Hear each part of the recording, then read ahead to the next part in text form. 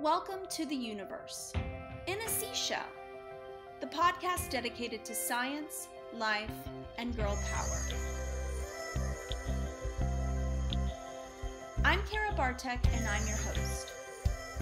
I'm a PhD, an author, and I want to make this world a more equal and opportune place, one girl at a time.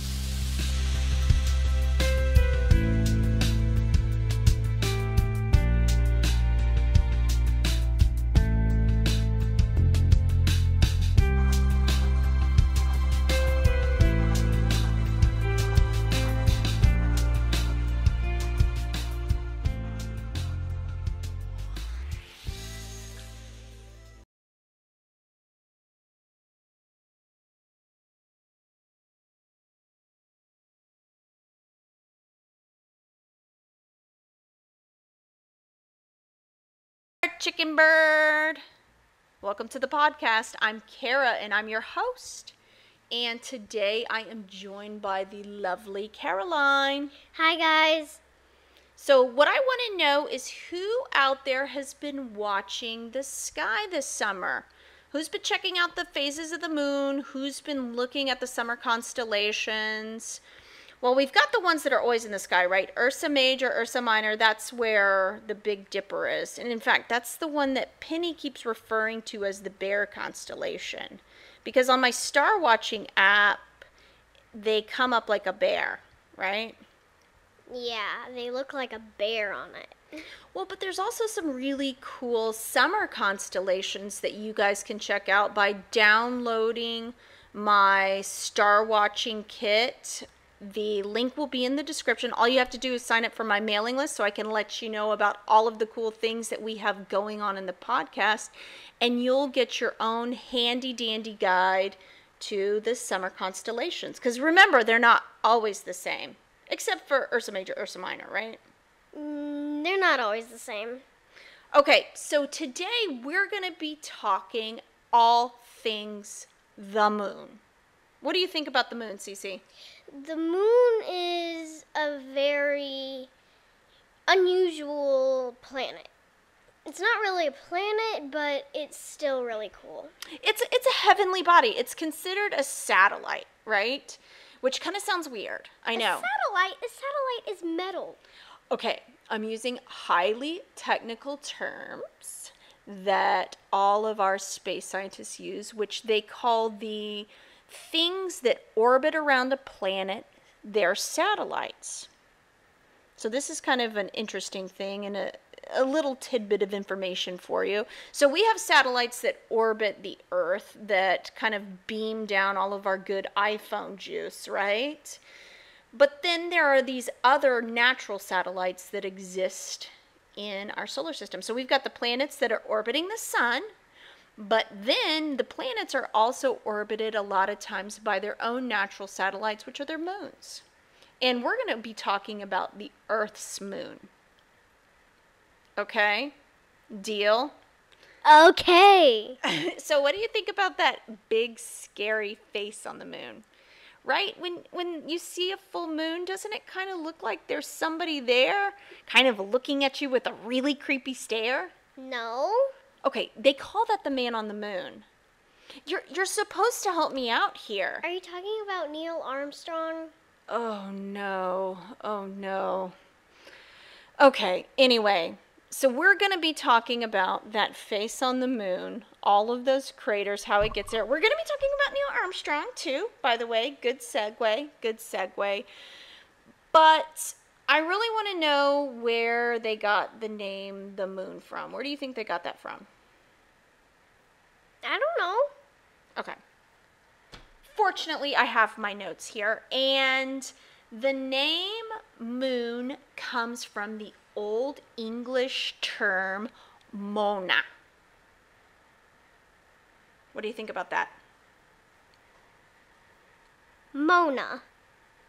Okay, so Mona basically means to measure or a month. Okay, it's referring to these measurements of time. Now, why why do you think our ancestors, the ones that spoke the really old English, not new English, not super cool English, like what's the word chicken bird, but the old, old English, like how art thou? Why do you think that they would describe the moon in terms of a measurement? Because it takes a whole month for a for an entire for all the phases. You've been studying, haven't you? Yes. High five. We've been doing pot. Our last one, she told me. So Oh. now I know. Yeah, this is take two. Yes. We we originally had Penny on the podcast, but she It did beep a lot. Boom. Yeah. You know what? Honestly, she's tired, so I get it. But you can't beep and then try. Well, and also she was trying to take apart the mics. Not cool, man. Not cool. She was like messing with them, like turning something out. We were. Mom was like, "Penny, don't mess with that," and she was like, "Oh, I'm not." Dude, okay, so and here's the thing. You can't trust Penny with taking apart things cuz she is definitely into taking apart household appliances. She's taken apart our grandma and grandpa's deep freezer, refrigerator, and oh, and also their dishwasher. Yeah. And she puts them back together on her own terms. So, I don't know. I like they almost bought another one. They were so scared. Yeah, like it was bad. Everything was thawing out. There was like runny pizza and like squishy ground beef everywhere. But she did put it back together. That's the good news. But my, but Gigi and Papa got really mad at her. Yeah, they did. They got mad at her. They were like, "Penny, you better never do that again." But I think that this really shows what a great conceptual kind of engineering mind she has. Now, of course, but it's annoying in the meantime. But anyway, okay, we're getting off topic. We're getting off topic. Okay. The Too much penny. Too much penny. Yes. Okay. Now, another term for the moon is luna. You've heard that, right? Yes. Yeah, luna. Spanish. Yeah, it's Spanish word, right? Uh, That's to me. That's that's really pretty. I kind of actually wish we could just call the moon luna. It sounds very swarthy, very exotic. Luna, luna. What if that was English? That would be really cool. We'd just say it Luna. Yeah, we wouldn't we wouldn't have that really amazing Luna. accent. Luna. Okay. So the moon was actually formed 4.5 billion years ago and but here's the deal. That's much younger than the solar system. Now, why do you think that matters? Mm. Okay. So conventional wisdom usually says that the universe was basically formed all at one time. So uh, the planets, stars, all that kind of stuff, generally along the same time frame. But the fact that the moon is younger than the earth tells us something about how it was formed. Okay? Now, so follow me here. So the prevailing thought for how the moon was actually formed was that a a- a big heavenly body, basically as, as large as Mars, actually Like an asteroid? Yes, exactly. It hit the earth and it created an impact. Okay, now this, and they even know the name of it Theia. Okay? It Did was they name it or? scientists. Okay. See, th- hey, hey, here's another reason to be a scientist you get to name stuff. Penny wants to name a flower. Well, she needs to be a scientist. Okay, that's all I've got to say. Well, anyway, so they think that this giant rock, the size of Mars, hit the Earth, and all of the junk that was ejected from the Earth mountains, ditches, candy bars. Candy bars! Okay, I guess that was too long ago for candy bars, right? But all of the stuff that was ejected out into space is actually forming our moon, okay? Now, it, I'm not saying that it all came out as one perfect sphere. The moon is made out of cheese?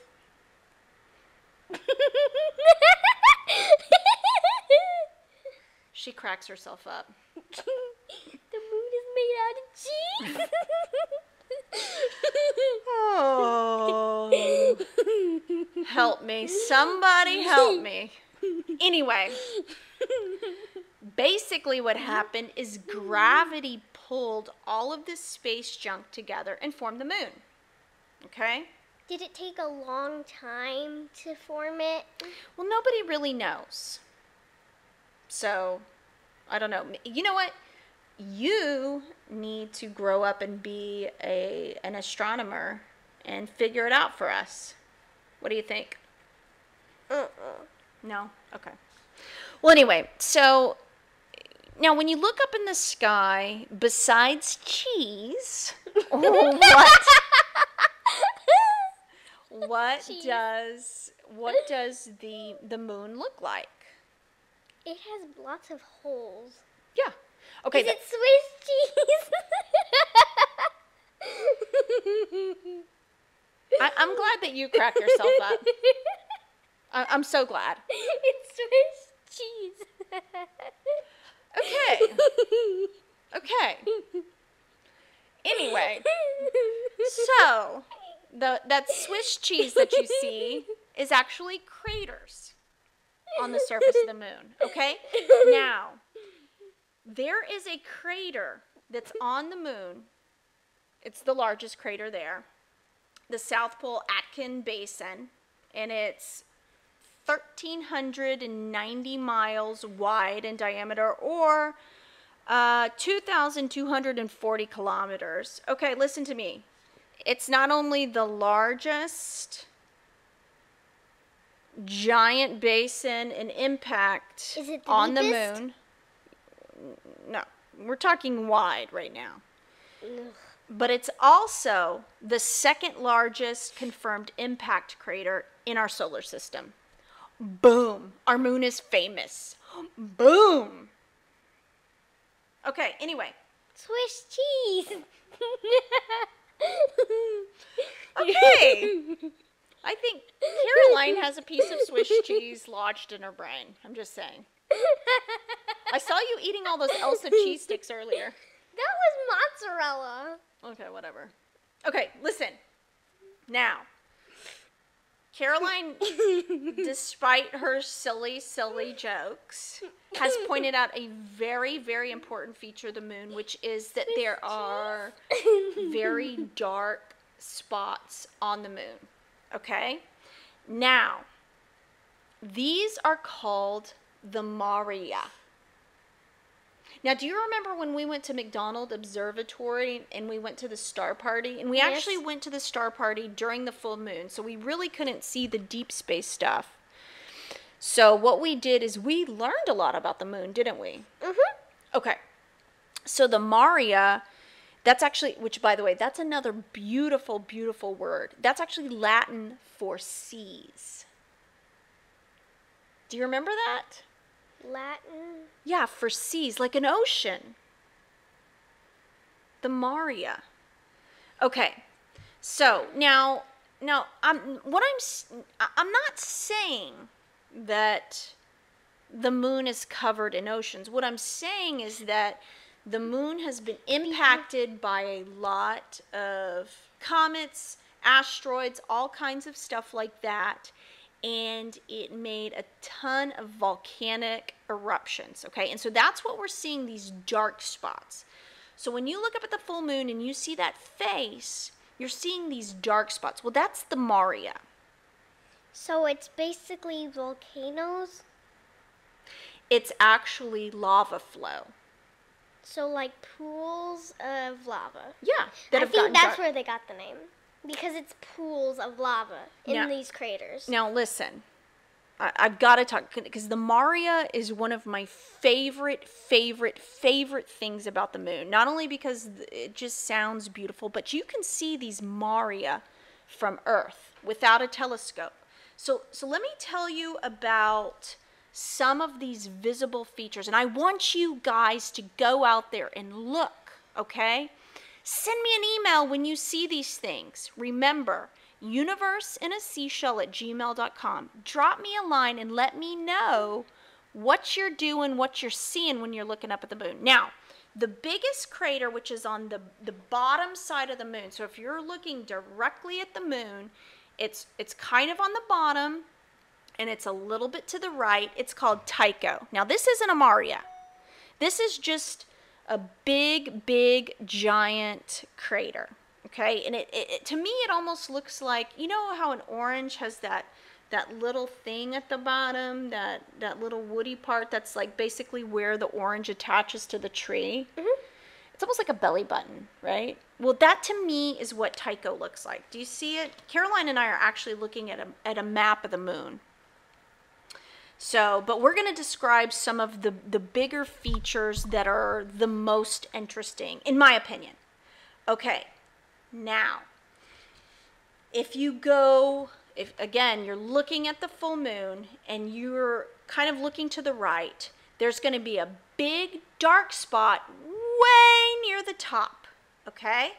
And it's one of the largest mares, and that is the Sea of Serenity. Do you see it, Caroline? Yeah. Okay, guys, what I'm going to do is I'm going to post a link to a, a, map of the moon. So, as I'm describing it, you guys can click on it and see exactly what I'm talking about. But isn't that a cool name? The Sea of Serenity? It, it kind of makes me think like, man, if I was like a space traveler, like to be at a foreign place like that, a foreign sea, the Sea of Serenity. How amazing is that? What is ser- what does serenity mean? Serenity means calm and peace. Like, can you imagine? Like, I bet you that's exactly what it's like on the moon. Calm and serene. Ah. Okay, now directly below that, again, it's over here on this right side of the moon. There's the Sea of Tranquility. Now, how beautiful does that sound? Do you like that? Yes. What does tranquility mean? Tranquility again is is almost like serenity. It's calm, peace. It's like when you wake up in the morning and you're watching cartoons and you're eating your waffle, scratching your rear end on the couch. I'm sorry that I like to scratch my rear end while I'm eating. so on this right side, there's all these beautiful, beautiful names. There's the Sea of Nectar, the Sea of Vapors, the Sea of Clouds. And again, I'm going to be posting a link to this map. Now, if you move over to the left hand side, the seas start to sound a little more crazy. So, right at the very top, we've got the Sea of Cold. Ooh, what do you think about that? Sea of Cold. Maybe it's cold in that spot, like a cold rush. I, I'm here to tell you that all of it's cold because space is cold and the moon has zero atmosphere. So all of this wonderful, beautiful summer weather that we've been experiencing, yes, um, it, it ain't like that on the moon. It's a little different. It's a little cold up there because again, they don't have. Well, it's also it can. they don't it can have also, heaters. They don't have heaters, but well, and it can be. So it. And let, let me make a correction because I'm sure you're going to correct me anyways. It can be extremely hot and extremely cold, and you're exposed to all of the harshness of space, like radiation, meteors, all of that kind of good stuff. I'm just seeing this one, and it looks really weird. What? Down here near the middle, like Okay, The Caroline's. west- She's like the west part, if you're on the moon, I found it says right here the ocean of storms. Yes. Okay, so that's another one of my favorite seas. But look, look how huge it is. Now this is to the left-hand side, which Caroline already pointed out. That's the west side of the moon. Um, it's east in the sky. Um, it's the ocean of storms. Now, what do you think about that? The ocean of storms. Now, that's kind of a cool name, but it doesn't sound very peaceful or tranquil, does it? I think that a lot of storms form there. Okay. There's also the Sea of Showers. the sea of moisture. But again, I'm going to be posting a link to this amazing these well I, I just love this these really truly cool features of the moon so anyway and you can see these with the naked eye that's the great part you don't have to have any kind of special equipment you don't have to have a telescope you don't you don't have to have any of this all you have to do is go outside and look at the full moon. There's this really tiny. There's this one that I just found, and it says the sea that the sea that has become known. Yes, and I'm sure that there's a backstory on that, which we'll have to we'll have to look at that. But anyway, okay, enough with the mares, which again, that's my favorite feature on the moon. It's so cool. It sounds so pretty, and the idea of these huge, huge lava flows being on the moon, it has to be amazing to see in person. Anyway, Yes. so, but here's the deal water does not exist on the moon. So you're What do you think to about take that? loads of water. Yeah, the astronauts who have been on the moon, which we will be talking about, did take lots of water. Okay, so because here's the deal. So liquid water, you know, H2O, generally frozen when it's in space, traveling around in comets, which is pretty common. Um, it cannot last on the surface of the moon because why? The moon. The moon can be hot or cold. Well, what does it lack that we have? Air. An atmosphere. Oh. Yeah, so it doesn't have an atmosphere like we have, right? Mhm. Now, but here's the deal scientists have discovered that there may be pockets of water on the moon. And what they believe is that. I'm trying to wake my computer up. Sorry, guys. Gotta wake my computer up so the recording doesn't time out. But anyway, um, scientists believe that they have been deposited there through strikes. Strikes on the moon. Like comets, meteors, all that kind of good stuff. Okay. Now, the moon, if you've ever noticed, doesn't really change, right? When you look at it, It never changes. now, when we we know that the Earth rotates, right? It Yes. spins on its axis. Well, guess what? Mm, The moon is in what's called synchronous rotation with Earth. And so basically, we always see one side of the moon. That's called the near side of the moon. There's a second side of the moon that's called the far side. Okay? Okay. Now, the far side is sometimes called the dark side of the moon. It's a really great album by Pink Floyd, too. Are you not a Pink Floyd fan? You know so many books that I don't. Oh my goodness. Pink Floyd is an amazing band, not a book. I have not done my job as a mom. Actually, I probably have. I don't let you listen to Pink Floyd. So, but anyway, I digress. Now, the moon makes a complete orbit around the Earth about every 27 days. Now, but the fact that the Earth is also moving in its orbit, it, it generally takes about a month for the moon to fully rotate. So that would be 29 days. So that goes back to our our word Mona, right? The old English word and it being Yes, month. month. Okay. Now, here's here's something crazy. The distance between the moon and the earth is about 250,000 miles. Mm, Can you believe that? no. Do you think you could run a mile? No. Remember, you have to talk into the mic. No. Oh my gosh, I think you just busted everybody's eardrums. Okay, so 200 now it does vary because the moon gets further out and it comes closer in depending on kind of where we're at in in rotation and orbit. Now, because of this, because of the changing way that the moon orbits, we have phases of the moon, right? Mhm. Oh, you don't sound really thrilled. What's your favorite phase of the moon? Full moon. Why is the full moon your favorite?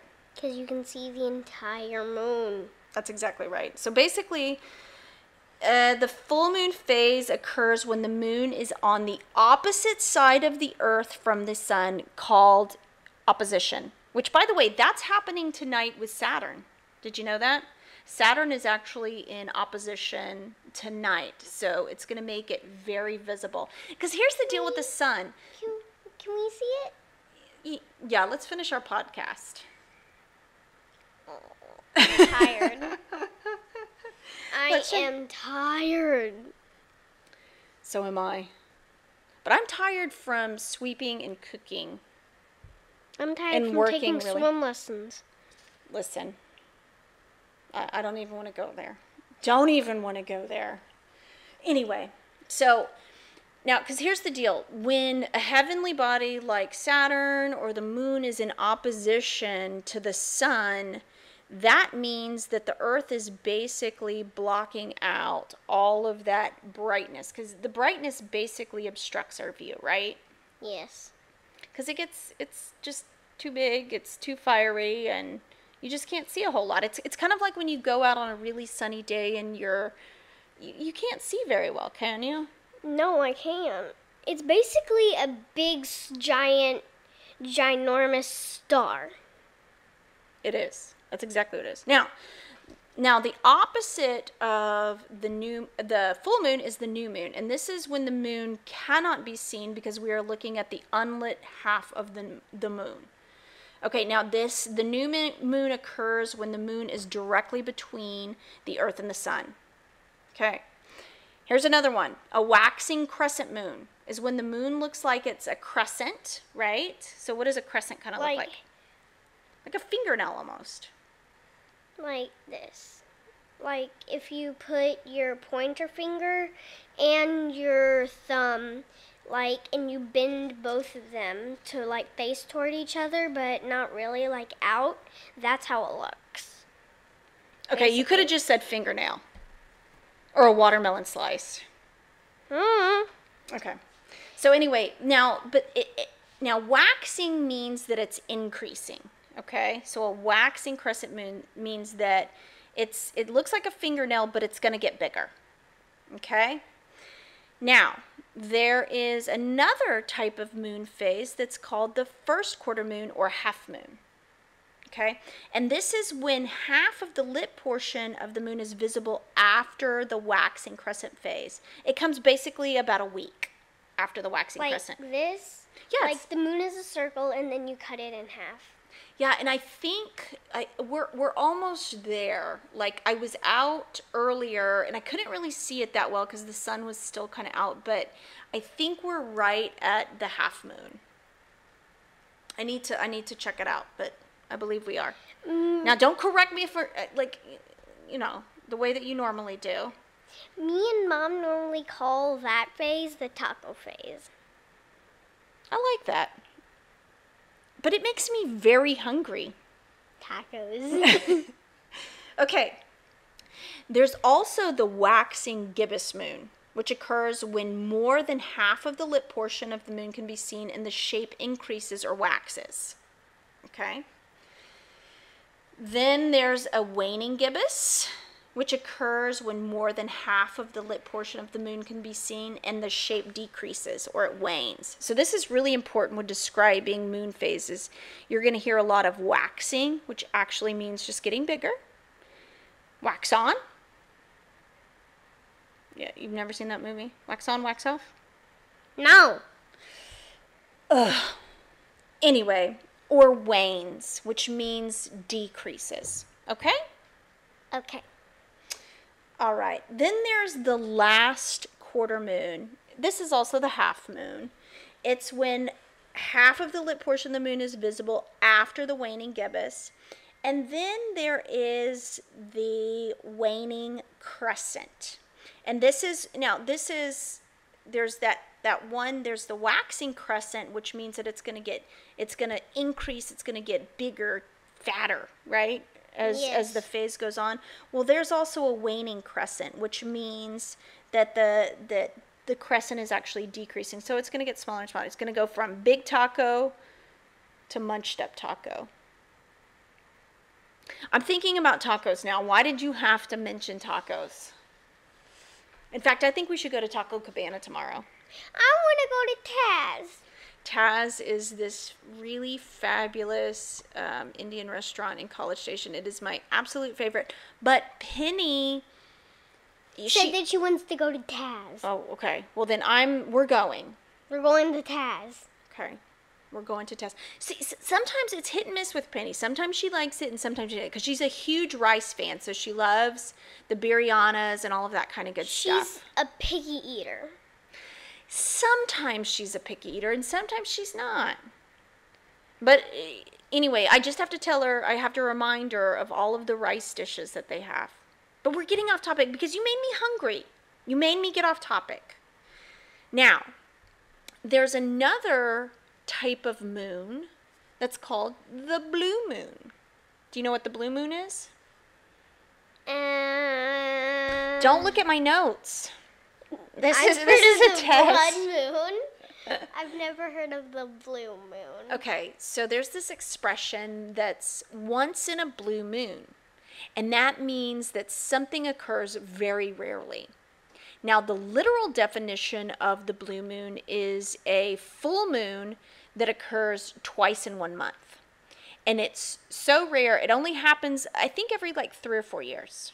Three or four years. That's why it's rare. Once in a blue moon. There's a, another great song by Earl Thomas Conley called Once in a Blue Moon. Is that a book? It's not a book. Listen to you. You don't know Pink Floyd or Earl Thomas Conley? No. What am I doing? So, what is your favorite band then? I guess it's um, Imagine Dragons. Imagine Dragons or Owl City. I, I love that song Fireflies. Yes, they have this song called Fireflies, and it's by City. Check it out. Mm. Now listen, if if I if I wasn't afraid to like infringe on the copyright of that song, I would play that because that is the perfect summer song, isn't it? All about fireflies and it has a really cool peppy beat. Peppy. Okay. So anyway, there now we've talked about the phases of the moon. There's there's 8 of them, right? But there are also these special types of moons. Now, Cece talked about the blood moon.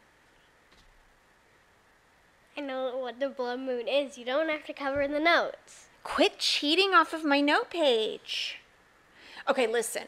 Now we've seen the blood moon, right? I got I got we had a sleepover and after you and your friends were like super rowdy and like really made me Finally mad. went to sleep. Yeah, but barely. I, I'm not even sure y'all actually ever slept. But anyway, I woke y'all We were up having fun. obviously. Well, I woke I woke the girls up and there was it was the blood moon eclipse, wasn't it? And I think it was was it last summer or was it two summers ago? I don't remember. It was still school time. no, it was definitely during the summer. No, the next time the then in the morning we had to go to school. Remember? Oh my goodness! Now everybody's gonna think I'm a terrible mom. I would never wake you up at like two in the morning on a school night. I really wouldn't. Quit giving me that Mhm. look. Uh huh. Anyway. Okay, so the blood moon is basically uh, it's it's an eclipse that turns red. Okay, but now here's here's something crazy. Now I found this online. In some circles of Christian prophecy, a blood moon is a member of a special kind of lunar tetrad. Now tetrad means four. Okay, that is four total lunar eclipses in a row, each one separated by six lunar months. So I guess like crazy stuff happens like under the blood moon. Like maybe you grow wings or a tail or something. Are you talking about Swiss cheese? I did not understand any of that. Uh, obviously you need a taco.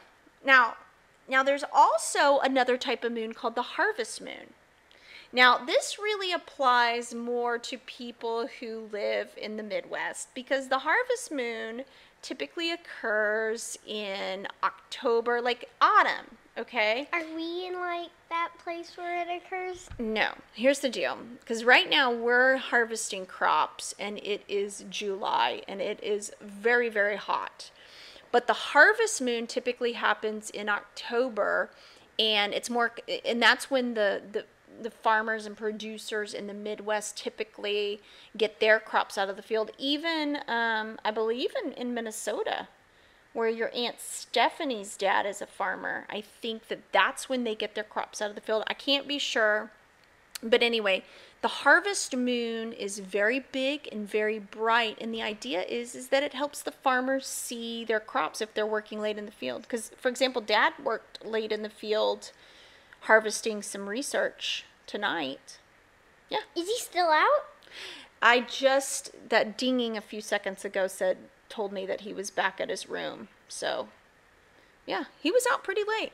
He was out pretty late. Now there's also a uh, okay wait no this is really cool uh, so the moon is very much tied to farming and crop production and all that kind of stuff so i found all of these really amazing names for the, the moon that occur in, in these different months of the year, okay? And this all came from the Farmer's Almanac. Did I say that? Almanac? Almanac. You said almanac. I think I'm, I'm putting a lot of Texas twang on that. The Farmer's Almanac. Almanac. okay. So let me let me read you some of these You names. said almanac. So in January, they call it the wolf moon. Like a, a wolf howling at the moon. Arr! I, I think that's a cool name. February, the snow moon or the hunger moon. Ooh, spooky. Okay, February. Oh, I'm sorry. March, worm moon. Ew.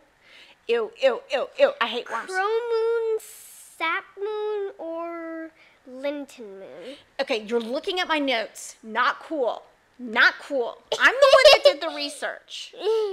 Okay, now I'm gonna hide my. Okay, the Lenten moon because that's kind of when Lent occurs. Now the worm moon. I've got to tell you something about worms. So I was with one of our producers or one of our, our cooperators in Yeah. um, in the Corpus Christi area, and um,